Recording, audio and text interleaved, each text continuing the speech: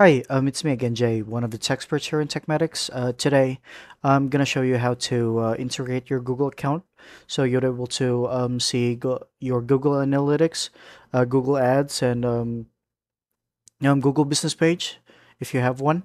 And then, um, yeah, uh, let's proceed. Um, all you have to do is, uh, you know, look for settings. Once you're in the dashboard, look for settings. Uh, click settings.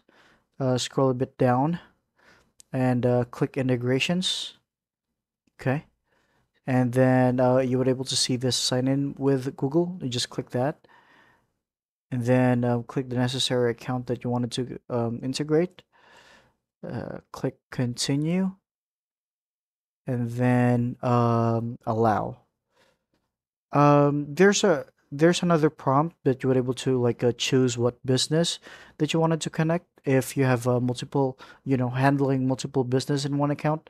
But on my case, um, I just have one, so I'm just gonna close this, and then um, you were able to see the um, you know, you you you were able to see like choose the Google Analytics here, and then property and then um, but on my case i don't have enough um, like handling enough business in my um, on my google but that's fine.